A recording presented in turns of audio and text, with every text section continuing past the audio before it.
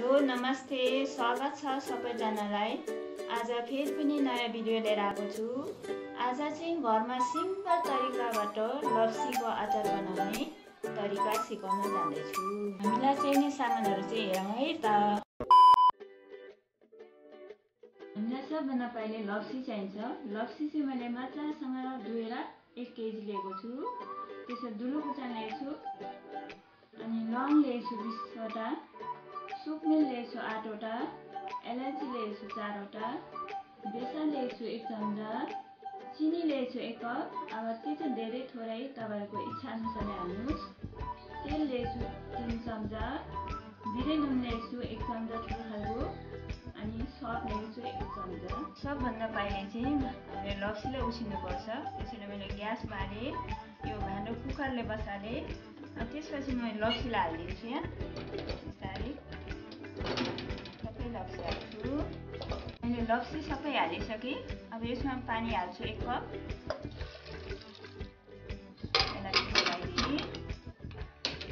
यसलाई चाहिँ अब तिन सिटी हुनेसम्म पकाउनु तिन सिटीपछि चाहिँ यो सिटी भइसक्यो। अब चाहिँ म यो लप्सीलाई खोलेर हेर्छु। हेर्नुहोस् त यो यस्तो पाकिसक्यो। पटपट हुने हेरेर। चम्चाले देखाउँछु। हेर्नुहोस् है लप्सी चाहिँ यतिसम्म पाकिहाल्नुपर्छ यतिको पटपट फुटेको हुनुपर्छ अब चाहिँ यसलाई सेलाउन राखिदिन्छु। मैले लप्सीलाई उसिनेपछि चाहिँ दस पन्ध्र मिनट सेलाउन राखिदिएको छु लप्सीमा भएको पानी चाहिँ मैले निकालेर यो बटुकोमा राखेको छु त्यो चाहिँ नफाल्नु होला हामीलाई पछि चाहिन्छ। अब चाहिँ म लप्सीलाई केलाउन जानेछु। यसरी बोक्रो केलाउनुपर्छ। यो सेलाएपछि चाहिँ बोक्रो निकाल्नु एकदम हामीलाई सजिलो हुन्छ। यसरी म एउटा प्लेटमा राख्छु।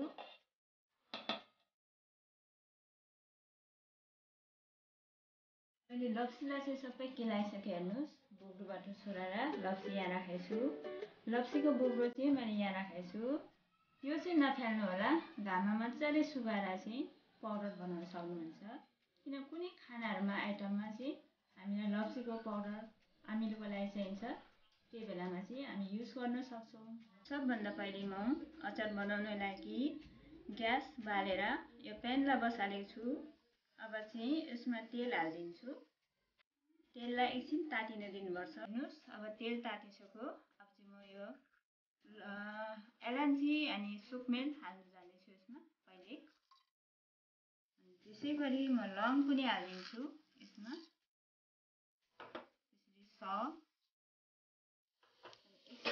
मजाले भुन्नुपर्छ त्यसै गरी यसमा बेसार पनि हालिदिन्छु।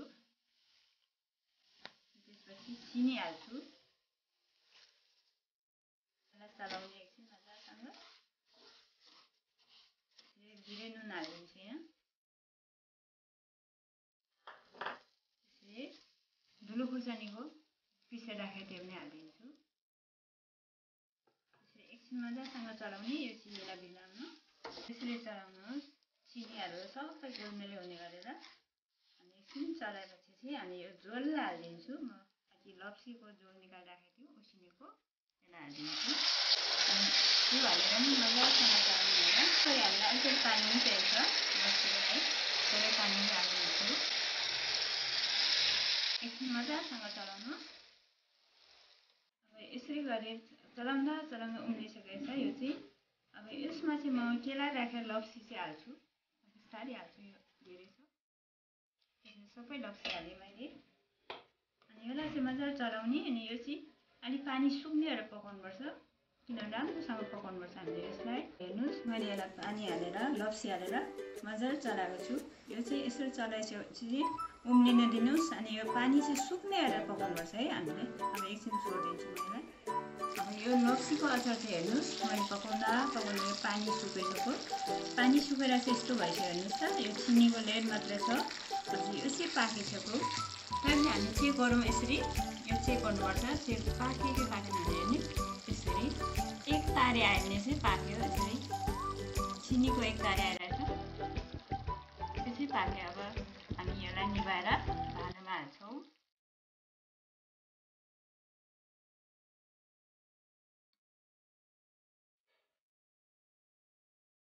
हेर्नुहोस् त मैले लप्सीको अचारलाई चाहिँ पकाएर यसरी तयार गरेर यो सिसीको भाँडामा राखेको छु। तपाईँहरूले नि आफ्नो परिवारसँग मिठो गरेर खानु होला धन्यवाद। हेर्नुहोस् त मैले लप्सीको अचार चाहिँ यो सिसीको बोतलमा हालेको छु। यो चाहिँ मैले एकदम सफा गरेर अनि सुक्खा गरेर राखेको सिसीको डब्बा हो। तपाईँले यो भित्र हालेको लप्सीको अचार चाहिँ एक वर्षसम्म राखेर खानुहुन्छ तर भिरको चाहिँ एकदम राम्रो लाउन सक् पर्छ। नभए हावा पसे नि यो अचार बिग्रिन्छ। त्यसरी राखेर खान सक्नुहुन्छ